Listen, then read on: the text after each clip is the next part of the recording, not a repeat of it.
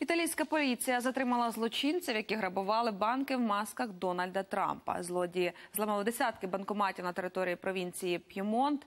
Всього винесли майже 100 тисяч євро. В поліції повідомили, деякі прийоми для грабунків злодії запозичили з кіно.